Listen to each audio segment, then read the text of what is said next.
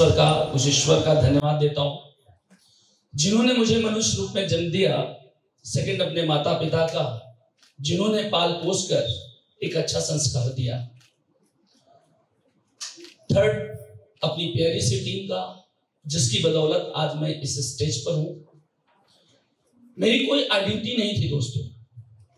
कोई आइडेंटिटी नहीं थी, मेरी कोई पहचान नहीं थी। एक कॉमन मैन था, जैसे आप लोग हैं, ऐसे हम थे कभी।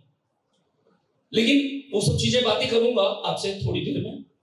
लेकिन आज का जो ये समा बना है, आज का ये जो प्रोग्राम हुआ है, और इस प्रोग्राम को सक्सेसफुल बनाने में जो जीतोड़ मेहनत टीम इनोवेशन ने किया है, मैं उसे कोटि कोटि बधाई देता हूँ। और पूरी इंटायर टीम इनोवेशन को ये कहना चाहता हूँ, जो जिस ने भी कहा, ये सिर्फ़ अभी आगाज़, अंजाम कुछ और होगा। क्योंकि ज़िंदगी में जब हम कोई भी काम शुरू करते हैं तो पहले एक कदम से ही करते हैं। आज जो सबसे बड़ा प्रॉब्लम है हमारे आपकी ज़िंदगी में, वो प्रॉब्लम है पहल करने की। इसको आप यूँ समझ लीजिए, घर से निकल पड़े हैं, घर से निकल पड़े हैं तो मंजिल मिल ही जाएगी, भटकते ही सही। गुमराह तो वो होते हैं जो घर से निकलते ही नहीं। प्रिय साथियों, हम और आप ज़िंदगी में बहुत कुछ पाना चाहते हैं, बहुत मंजिलें हासिल करना चाहते हैं, बहुत बड़ी उपलब्धियाँ पाना चाहते हैं, लेकिन उसके लिए हम सोचते रह जाते हैं, कुछ करते नहीं, घर से निकलते नहीं है। ज़िंदगी में अवसर बहुत आते हैं। आपने आज हमारे ग्रेट मेंटर ग्रेट लीडर एक ऐसी शख्सियत को देखा और सुना, जिनको मिलने और सुनने के लिए मैंने अपनी लाइफ में 2005 से लेके 2005 याद रखना 2005 से लेके 2017 के बाद हम एक दूसरे को फेस टू फेस मिले। 2005 में हम इनको सुना करते थे सीडी के माध्यम से तब यूट्यूब का जमाना मेरे टाइम में नहीं था। इनका एक हम सीडी देखे थे कि ओनली चार तक पढ़ा हुआ व्यक्ति इस इंडस्ट्री में करोड़ की गाड़ी से घूम रहा है। और इनका वो वीडियो सीडी मैंने देखा था, चाल, कोई मुंबई गया कभी? तो वो चाल का मुझे छोटी सी झोपड़पट्टी दिखी थी। रियल वो जहाँ रहा और इनकी वो लग्जरी ज़िंदगी भी दिखाई गई थी, जो बड़ा सा बंगलो था और मर्सिडीज गाड़ी से ये बिग बाज़ार में जा रहे थे, मुंबई के बड़े मॉल में वो भी कार से। वो इनकी लाइफ पूरी, जब मैंने वो इनकी पूरी बायोग्राफी देखी, मेरे आँखों से आँसू आ गया था। आज मेरे सक्सेस के पीछे मैं आज जो कुछ भी हूँ इस दुनिया में जो भी लोगों ने माई लाइफ स्टाइल में कीर्तिमान लिखा है, वो हमारे इंस्पिरेशन है, वही हमारे ईंधन है और उन्हीं की बदौलत आज मैं स्टेज पर हूँ माय डियर फ्रेंड्स क्योंकि महान वो होता है जो संघर्ष करके एक पहचान क्रिएट करता है। लोगों को एक प्रमाण देता है क्योंकि हम हमेशा एक बात कहते हैं प्रत्यक्षम किम प्रमाणम प्रत्यक्ष को प्रमाण देने की आवश्यकता नहीं होती। जब मैंने इस इंडस्ट्री में सुना तो मैं इनकी हकीकत जानने के लिए मैं आतुर हो गया। मेरा सौभाग्य है, फिर सर से मिला भी, सर के साथ खाया भी, सर के साथ सोया भी, सर के साथ घर में भी गया। इनके घर में भी गया मैं, इनके बंगलों में भी गया। इनकी लाइफ स्टाइल देखी। और आप ये सोच कर देखिए एक पढ़ा लिखा इंसान जल्दी आईफोन लेने के लिए नहीं सोच पाता, कारण कि उसकी कीमत एक लाख से शुरू होती है। लैपटॉप वो तीस, पच्चीस पच्चीस, तीस, चालीस में अटक जाता है। लैपटॉप सर, घर में एक नहीं, दर्जन लैपटॉप है सर के पास। वो भी एप्पल के वो भी, सर के पास जो लैपटॉप अभी देखिए मैकबुक प्रो जिसकी starting one lakh eighty thousand minimum शुरुआत एक लाख अस्सी हज़ार का सिर्फ़ लैपटॉप बात समझ पा रहे मेरी बात ये वो विनय मिश्रा है जिसके पास कुछ भी नहीं था। बिले शक कौन था मैं पहले ये बताऊँगा। आज मैं कौन हूँ वो मुझे बताने की ज़रूरत नहीं क्योंकि आप जानते हैं मैं कौन हूँ।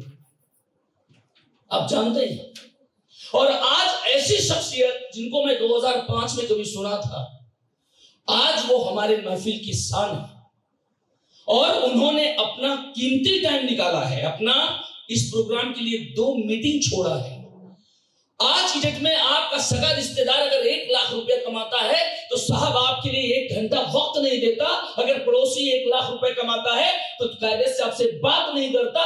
एक घंटे वक्त देने की तो बात छोड़ दो, ठीक से बात नहीं करता, क्योंकि उसकी नज़र में आपकी हैसियत कुछ नहीं होती। लेकिन एक ऐसा ग्रेट पर्सनैलिटी हमारे बीच में, जिसकी हफ़्ते की इनकम साढ़े छह लाख रुपया है। हफ़्ते की। वो घंटों सीधर बैठे हैं। और वो आकर ये बता रहे हैं, उनको बताने में शर्म नहीं आई कि मैं मजदूरी तक करता था। मैं तेरह साल की उम्र में निकल गया। मेरे घर में भोजन नहीं था। स्कूल में इसलिए जाया करता था ताकि हमारे घर में उपमा आ जाए तो मैं और मेरे बच्चे, मेरे पापा और हम लोग को पेट भर जाए। टीचर ने कहा, बाबू, कल से उपमा नहीं मिलेगा। तो बाबू ने स्कूल ही जाना बंद कर दिया। क्योंकि वो पढ़ने नहीं जाते थे, उपमा के लिए जाते थे। जीवन यापन के लिए भोजन चाहिए भाई। हेलो? पेट भरने के लिए पैसा चाहिए कि नहीं कुछ चाहिए? क्या आप लोग बाबू सर जैसी ज़िंदगी जीने वाला कोई इस हॉल के अंदर है? मुझे मदद चाहिए आप लोगों से प्लीज़ मेरी बात तो समझ में आ रही है ना? बाबू सर की बात थोड़ा सा आपको दिक्कत हुई लेकिन मेरे को दिक्कत तो नहीं हो रही है। तो बाबू सर ने जो बोला मैं बोल रहा हूँ आपको अपनी भाषा में। सर का कहना था कि मैं घर इसलिए छोड़ा क्योंकि माँ मेरी आँख से अंधी थी, मुझे जन्म दिया और जन्म देते ही मेरी माँ का आँख का रोशनी चला गया। पिता मेरा पढ़ा लिखा नहीं, खेती बाड़ी करके जीवन यापन किसी तरह चलता था, लेकिन वो भी पापा की व्यवस्था नहीं थी। ज़िंदगी में कुछ करने की चाहत थी तो तेरह साल उम्र में मैं अपनी माँ का, अपने पिता के एक अच्छा बेटा बन सकूँ, उसके लिए उन्होंने लोगों के यहाँ जाके होटल में गिलास और प्लेट धोने का काम किया। बहुत सारा वर्क किया साहब लोगों ने। और सर ने वो संघर्ष करते करते करते करते करते करते एक दिन इनकी ज़िंदगी में अपॉर्चुनिटी आई। देखो, लाइफ में भगवान कभी किसी को पहले अपॉर्चुनिटी देता है, किसी को देर में देता है। लेकिन अपॉर्चुनिटी मिलती सबको है। अपॉर्चुनिटी मिलती सबको है।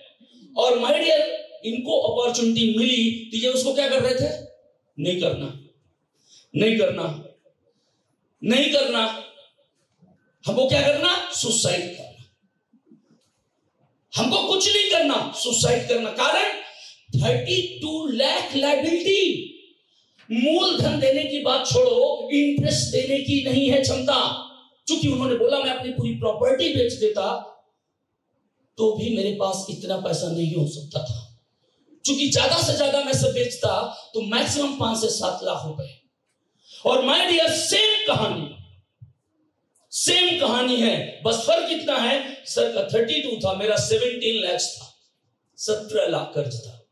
पिताजी का वेतन छियासी सौ रुपए था। और उस समय हम और हमारे पिता और हमारी माँ ये प्लान करते थे कि अगर मैं पूरी प्रॉपर्टी बेच दूँगा तो पैसा कितना इकट्ठा होगा। लेकिन समस्या थी प्रॉपर्टी भी नहीं बेच सकते थे। क्योंकि स्टेट बैंक ऑफ़ इंडिया में वो मार्गेज हो चुका था। तो तो बैंक का हो गया, वो भी नहीं बेच सकते थे। मतलब आप समझिए, बस हमारे और बाबू सर में एक फ़र्क है कि हमारे पिताजी जॉब में थे तो इसलिए पेट भर जाता था, भोजन मिलता था। कपड़े मिलते थे, चार छह नहीं, एक ड्रेस एक ड्रेस मेरे पास सारे फ़ोटोज़ रखे हैं रिकॉर्ड मैं आपको दिखा सकता हूँ। दुनिया में जब कोई आदमी फ़ोटो खिंचाता है तो कौन सा फ़ोटो खिंचाता है, पता आपको? जो उसके पास सबसे बेस्ट ड्रेस होता है। और मैं अपने मम्मी पापा के साथ जब फ़ोटो खिंचाया हूँ ना तो मेरा स्कूल वाला ही ड्रेस है। यानी वही ड्रेस पहन के मामा के यहाँ जाना, वही ड्रेस पहन के स्कूल जाना। वो ज़िंदगी, वो लाइफ स्टाइल हमने देखी है दोस्तों। आज मैं आपसे कहना चाहता हूँ कि लाइफ में आप अपने लिए जीना चाहते हो कि लोगों के लिए जीना चाहते हो? सुनाई नहीं दिया। आज मीटिंग में एक चीज़ लेके जाओ। बाबू सर की ज़िंदगी तब बनी जब इन्होंने लोगों को बनाना सीखा। बिना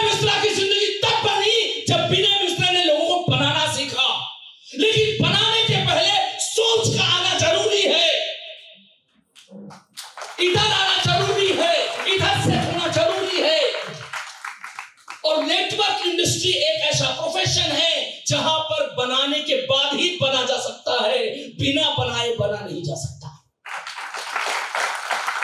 जब मैंने इस इंडस्ट्री में कदम रखा था तो मैंने कसम खाई थी कि जब तक मेरे टीम में पाँच कार नहीं आ जाएगी, विनय मिश्रा अपनी कार नहीं खरीदेगा। वो पाँचों के नाम आज भी मेरे पास रिकॉर्ड हैं। लोग कहते थे, विनय जी, अगर आप कमाते हो तो आप कार क्यों नहीं खरीद रहे हो? तो मैं कहा करता था, तीन आ गई, दो गाड़ी और बाकी है। जिस दिन पाँच हो गया, छठी गाड़ी विनय मिश्रा की और वो मेरी गाड़ी हुई। तो बिलीव किस पे था मुझे? लोगों पे? या खुद पे? लिसन मी खुद पे बिलीव था। यस आर नो आपको बिलीव किस पे है? हमें जवाब मत दो। सौगंध है आपको आपके धर्म की, आपके औलाद की, आपके बच्चों की, जिसको आप चाहते हो, अंदर से पूछो, आपको बिलीव किस पे है? पड़ोसी कह दिया, तुमसे नहीं होगा। बिलीव पड़ोसी पे बीबी ने कह दिया, ये तुम्हारे बस का नहीं है। बिलीव बीबी पे पप्पा ने कह दिया ये सब करना नहीं, करना है तो घर छोड़ के निकल जाओ। बिलीव खुद पे नहीं है, क्योंकि घर छोड़ देंगे तो रहेंगे कहा? हेलो? घर छोड़ देंगे तो रहेंगे कहा? राइट या रॉन्ग और दुनिया का हर वो पिता अपने बच्चे की भविष्य के बारे में अच्छा सोचता है या बुरा सोचता है? मेरे पिता ने मेरे भविष्य के बारे में क्या सोचा था, पता है? उन्होंने कहा था, अगर तुमने ये कंपनी किया तो मैं कल दैनिक जागरण में निकलवा दूँगा कि मेरा बड़े बेटे से कोई वास्ता नहीं है। मुखिया खानदान का नाक नहीं काटना है अपने को। मैं मुखिया का नाती हूँ। तो मुखिया का नाक कट जाएगा अगर तुम इस तरह की कंपनी में जाके काम करेगा। तो तुझे ये चुनना है कि तू घर में रहेगा या कंपनी के साथ रहेगा। चूज़ कर तू। विनय मिश्रा, क्या चूज़ करेगा? हेल्प मी क्यों? ऐसा क्यों आपको पता लगता है? अच्छा आपका पप्पा भी वैसा बोले तो क्या करेंगे आप?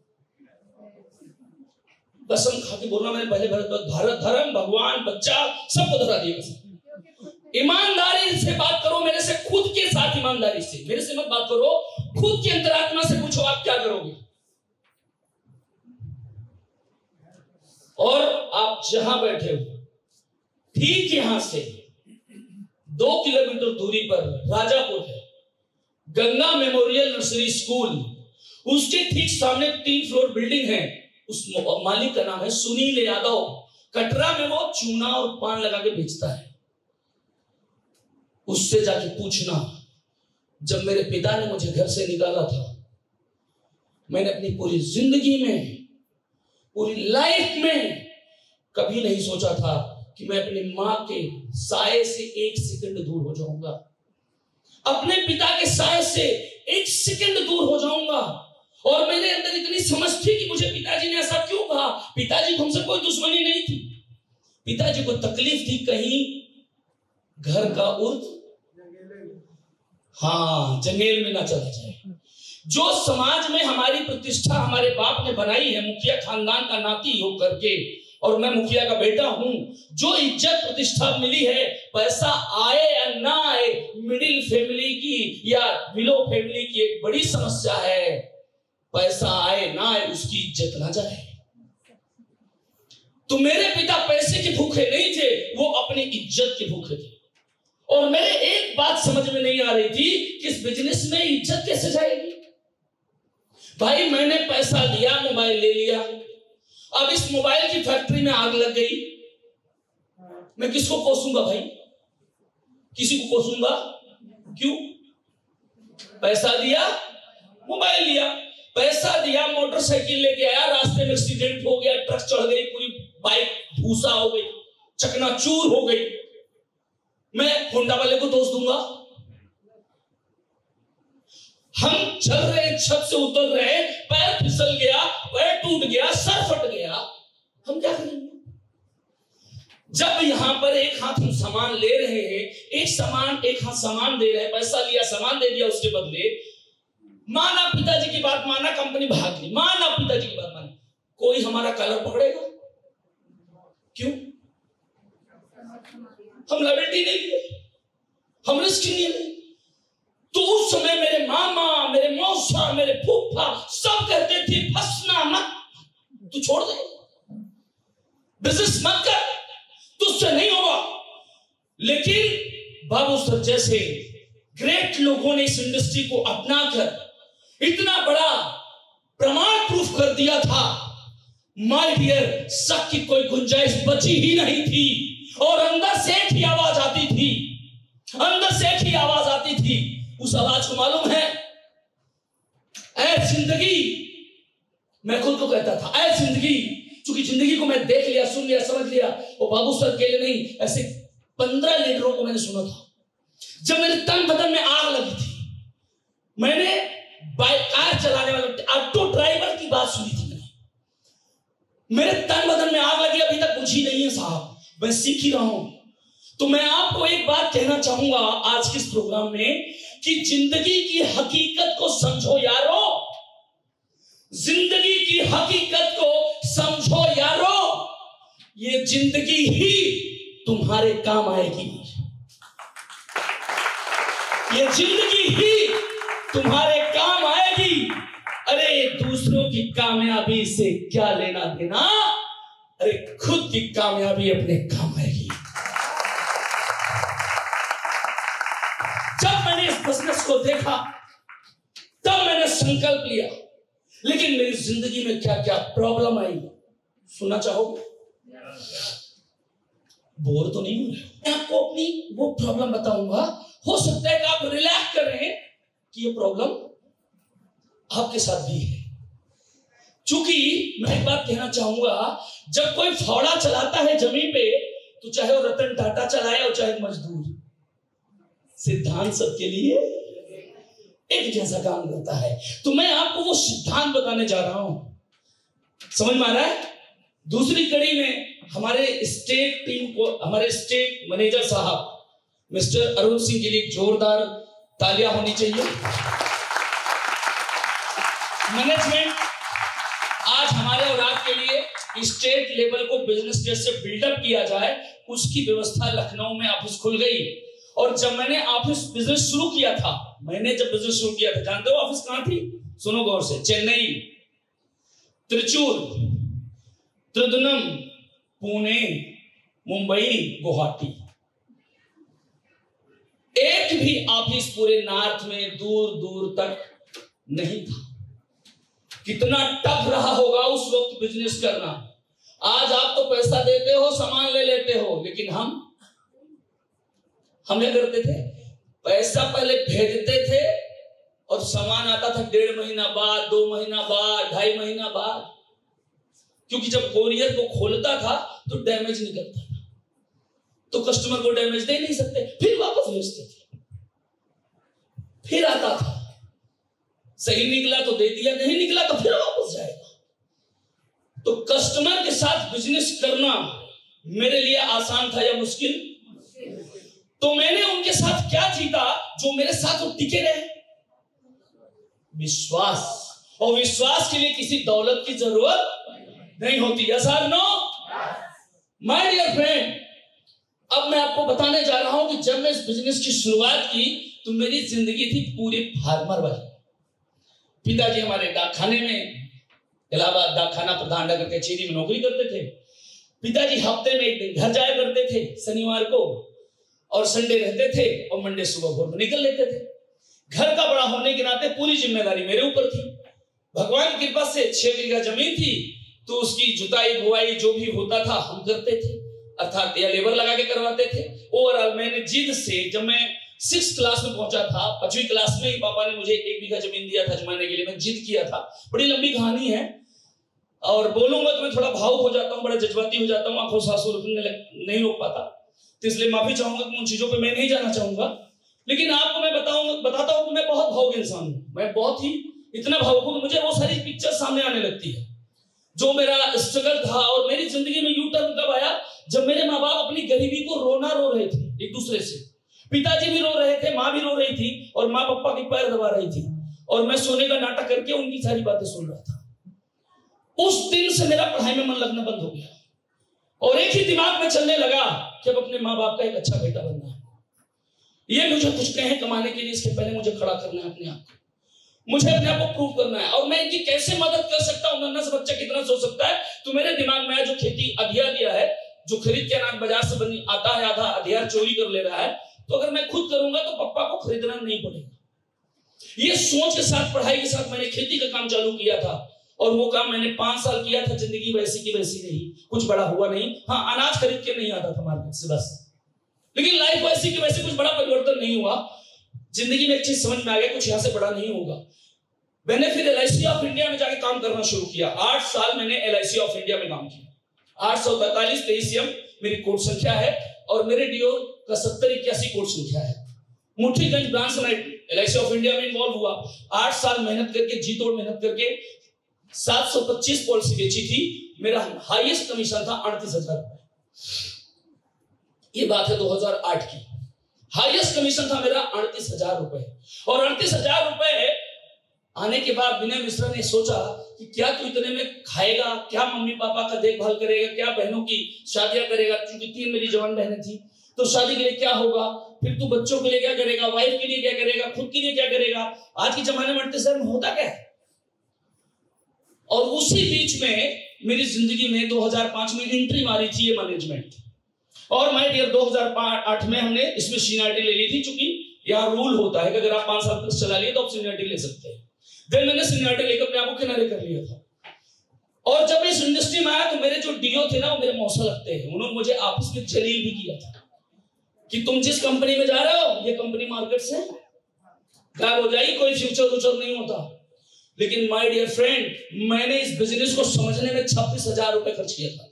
कलकत्ता गया, मुंबई गया और चेन्नई गया। बिज़नेस भी शुरू कर दी, लेकिन प्रॉब्लम क्या आती है, वो समझना है। माय डियर फ्रेंड्स आप एक बात बताना चाहता हूँ। अब मैं आपको बताने जो जा रहा हूँ, वो समझना। प्रॉब्लम कहाँ आई? जब मैं मार्केट में आया तो हमारी भाषा जैसे मैं बोल रहा हूँ, ये नहीं थी। हमारी भाषा कैसे थी? और हो का हलवा सब ठीक बा और मम्मी, चाची, मेरी ठीक है ना? सब बढ़िया है ना? और बात करता था, आप नहीं करता था, तुम।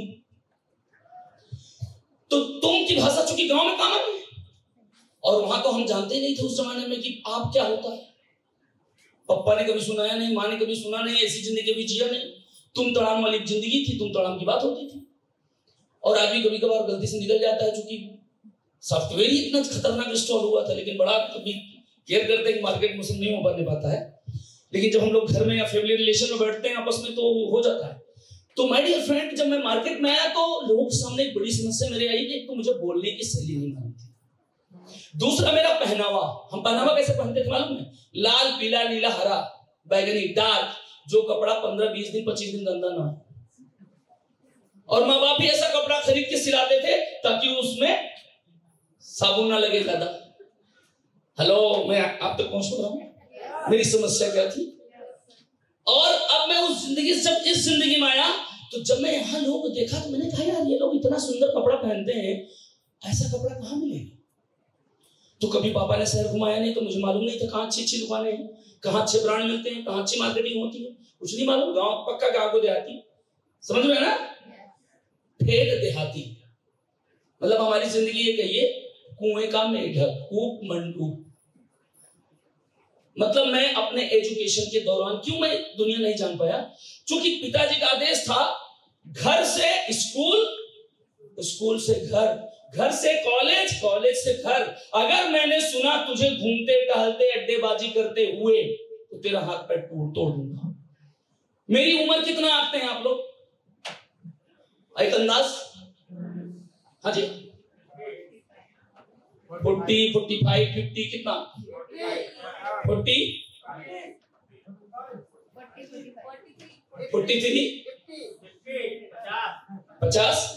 अभी मेरा डेट ऑफ़ बर्थ आप लोग कैलकुलेट खुद कर लेना, छिहत्तर है डेट ऑफ़ बर्थ तो कंफ्यूजन खत्म हो जाएगा। Original date of birth okay अब आपको मैं बताना चाहूँगा कि इस बिज़नेस में हेलो कंफ्यूजन कुछ हो रहा है क्या? बर्थ है मेरा, पंद्रह दस छिहत्तर, डेट से बता दे। Okay real date of birth और स्कूल का डेट ऑफ़ बर्थ है पंद्रह पाँच उन्यासी। डेट ऑफ़ बर्थ इसलिए कम करा था, पापा ने कि बेटवा को नौकरी करवाना और बचपन से आज तक कभी नौकरी में इंस्पायर नहीं हुआ। दादाजी जबकि पुलिस विभाग में थे, बड़े भैया पुलिस विभाग में थे, पिताजी डाक विभाग में थे, मेरे घर में सत्तर परसेंट लोग इंप्लाई हैं, या तो गवर्नमेंट या प्राइवेट बट मैं पता नहीं क्यों बचपन से आज तक जॉब से मैं संतुष्ट मैं बिज़नेस ही करना चाहता था, इसलिए मैंने अपनी ज़िंदगी में बहुत सारा बिज़नेस किया। गारमेंट्स काम किया, अगरबत्ती का कारोबार किया राइस मिल का बिज़नेस डालने की कोशिश की तो वो सब कुछ मैंने किया। लेकिन लाइफ में सेटिस्फेक्शन नहीं था। इस इंडस्ट्री जब आया तो मेरी ज़िंदगी में सबसे बड़ी प्रॉब्लम कि लोगों के जैसा मैं स्मार्ट नहीं था। जैसे आप लोग सोचते होंगे, यार, विनय की तरह मेरे पास कपड़े नहीं विनय की तरह बात नहीं है, विनय की तरह ऐसे चलने की स्टाइल सेम मेरे दिमाग में उस टाइम था सेम कुछ डिस्ट्रीब्यूटर इधर है जिनको ये प्रॉब्लम आती है। प्लीज़ हेल्प मी होती है। ये फीलिंग आपको जैसे होती है, वैसे फीलिंग बाय गॉड ईश्वर साक्षी है, मुझे होती थी। और मुझे मुझे अपने अंदर हीन भावना आती थी। मतलब अपने अंदर मैं खुद को छोटा बना लेता था। और ये बात मुझे पता नहीं थी, लेकिन मैंने एक किताब पढ़ी the magic of thinking big doctor David J Schwartz की बुक मैंने जब पढ़ी, और इसको मुझे दिल्ली में मैंने लिया, मुझे किसी ने गाइड किया और मैंने दिल्ली में लिया उस किताब को the of thinking big doctor David J Schwartz और जब मैंने उस बुक को पढ़ी तो मेरी ज़िंदगी ही बदल गई दोस्तों। मैंने कसम खाई थी, मैंने अपनी ज़िंदगी में आज भी कसम खाया है कि मैं अगर कोई भी किताब उठा के पढ़ लेता हूँ, मैं किसी सक्सेस इंसान के साथ बैठ जाता हूँ, और सक्सेस इंसान ने अगर उसने मुझे ये फील करा दिया कि विनय, तुम्हारे अंदर एक कमी है, पूरी ज़िंदगी वो कमी दिखा नहीं सकता फिर उस कमी अगर मुझे रियलाइज़ हो गया कि यस मेरे अंदर एक कमी है तो मरते दम तक वो कमी कभी कोई देख नहीं सकता। मैं आपसे ये नहीं कहूँगा कि मैं कोशिश करूँगा उसी वक्त उस कमी को निकाल के ज़िंदगी से फेंक देता इसका मैसेज आप समझ में आ रहा मैं हमेशा खुद को खूबसूरत बनाता हूँ। क्योंकि मैं खुद से प्रेम करता हूँ। मैं खुद को लाइक करता हूँ। मैं खुद को पसंद करता हूँ। मैं दुनिया पे मेरा अधिकार नहीं है। मैं आपसे कहूँगा, सूट पहनो, आप जींस छोड़ दो, कोट में आ जाओ, आप टाई लगा दो। नहीं शादी तो फांसी लगेगा। तो मेरा नियंत्रण आपके ऊपर नहीं है, लेकिन मेरा खुद का नियंत्रण अपने आप पे है। ये मुझे कहा पता चला? द मैजिक ऑफ़ थिंकिंग दूसरा, मैं नेगेटिव बहुत सोचता था। हर चीज़ में कमी निकालना हर चीज़ में कमी निकालना तो मुझे पता चला यू कैन विन में यू कैन विन को हिंदी में बोलते हैं जीत आपकी। वहाँ उन्होंने बताया कि समाज में दो तरह के लोग होते हैं। एक वो जो समस्या का समाधान निकालता है।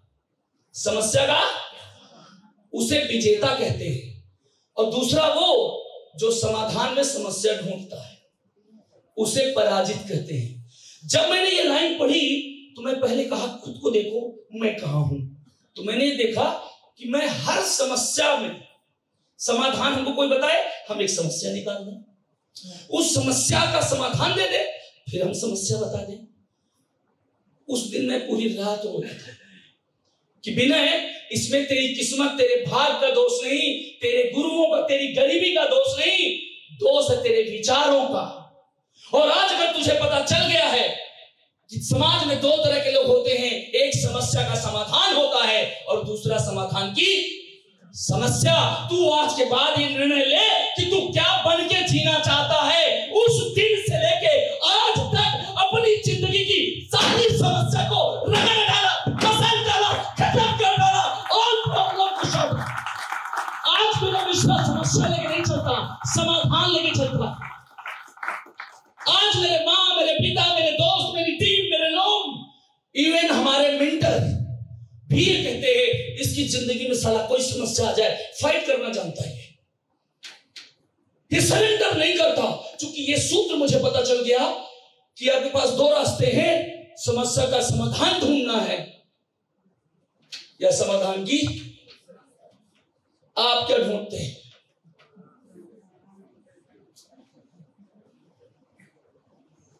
क्या ढूंढते हैं भाई? तो प्रॉब्लम किधर है?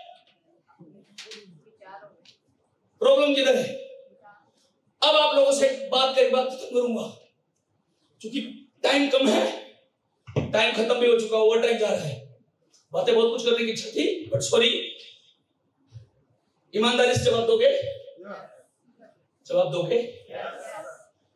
जवाब दोगे। अच्छा जो लोग कुछ नहीं बोल रहे उनको क्या मानू?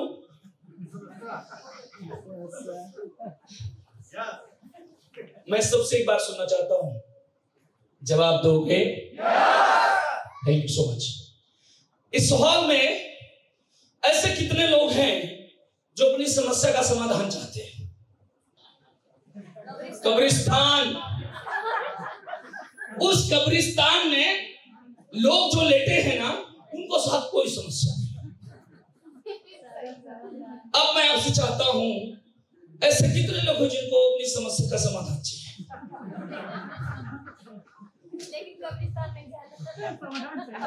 अब आपको एक बात बोल के अपनी बात खत्म करूँगा। बड़ी, बहुत मेचोरिटी वाली बात है और बहुत इस पे मैं घंटों बातें करता हूँ ओके मतलब थ्री हावर्स मिनिमम मेरा सेशन है इस पे। बट मैं चंद मिनटों में आपको देना चाहता हूँ। समस्या समस्या हमारे ज़िंदगी का एक हिस्सा है पार्ट ऑफ़ लाइफ जिस दिन समस्या खत्म हो जाएगी साहब, आप भी खत्म हो जाओगे। समस्या नहीं रही तो आप नहीं रहे। अगर समस्या है, तभी तो ज़िंदगी है। इसी के नाम तो ज़िंदगी है समस्या कहाँ नहीं है साहब? समस्या हमारे वाइफ के साथ हमारी अंडरस्टैंडिंग में है। समस्या हमारे बच्चों के साथ में अंडरस्टैंडिंग में बेटा, हमें नहीं समझ पाता, हम बेटे को नहीं समझ पाते। बेटी हमें नहीं समझ पाती, हम बेटी को नहीं समझ पाते। वाइफ हमें नहीं समझ पा रहे, हम वाइफ को नहीं समझ पा रहे। माँ हमें नहीं समझ पा रही, हम माँ को नहीं समझ पा रहे। पिता हमें नहीं समझ पा रहा, हम पिता को नहीं समझ पा रहे। पड़ोसी हमें नहीं समझ रहा पड़ोसी को नहीं समझ पा रहे। साहब, जिस दिन समस्या ही आपके लाइफ से खत्म हो जाएगी, साहब, आप खत्म हो जाओगे। इसलिए ज़िंदगी में याद रखना, साहब, कि समस्या पार्ट ऑफ़ लाइफ ये ज़िंदगी का एक अहम पार्ट है। और जीवन में अगर आपको समस्या से मोहब्बत हो गई, साहब, अगर आपको ज़िंदगी में समस्या से मोहब्बत हो गई और उसका आज के बाद समस्या का समाधान लेने का, इस हॉल से बाहर जाने के पहले संकल्प लेके जाना कि आज के बाद मेरी ज़िंदगी में समस्या मेरा कुछ नहीं बिगाड़ेगी। उस समस्या का समाधान लेके आऊँगा। मैं कमिटमेंट करता हूँ। Hundred percent hundred percent